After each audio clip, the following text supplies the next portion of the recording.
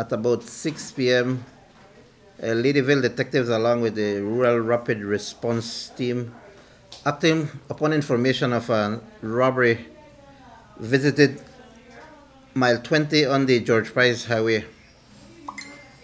Upon arrival, they met Armando Perez, 52 years, Belizean salesman representatives of Travelers Limited, Travelers Liquor Limited, who reported that sometime about 5:40 p.m.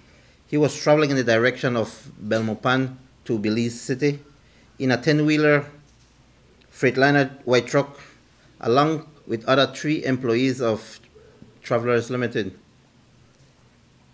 Upon reaching mile 20 on the George Price Highway, they came across what appeared to be a police checkpoint where they saw two male persons, one dressed in the Belize Police Department uniform and the other in a black BDU.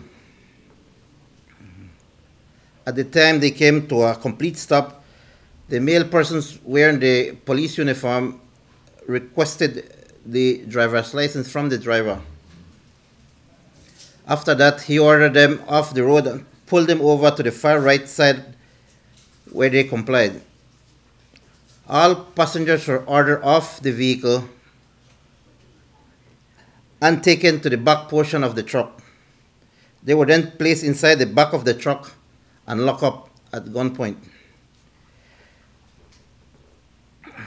During, the pro- during this process, one of the occupants was robbed of a cellular phone. Occupants waited for about five minutes, then they exited the truck, and on doing so, they checked and discovered a knapsack missing. Uh, the knapsack contained two checks and about four, 45,000 Belize currency uh, in cash in assorted denominations. All the values amounted to a 49,395 Belize currency, along with some invoices, the property of Travelers Liquor, which was the proceeds of the day sale. Is there any more information that's coming from the victims? Because it, it is that when they emerged out of the back, and it was all of them who were placed in the back? Yes, all of them were placed in the back. That's why we're investigating. Um, we're looking at a possible Inside job. inside job.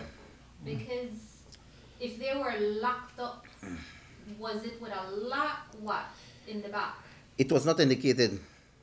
Okay. They just said they were locked up, and shortly after five minutes, they came out and they noticed that the bag was missing. And particular, only the bag went missing. Nothing. Was there other things in there that could have been stolen then? Cell Yes, there were. The others? They were the the, the um, the products. So some of the products were behind the truck as well. It's only this one vehicle. You would imagine that other motorists would have seen something, and I imagine It's- that you put out that.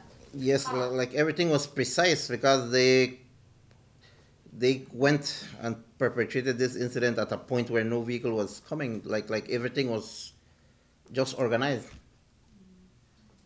So just to clarify, so you're saying that uh, no other vehicle came up to this checkpoint? No, Only this one only vehicle? this specific vehicle.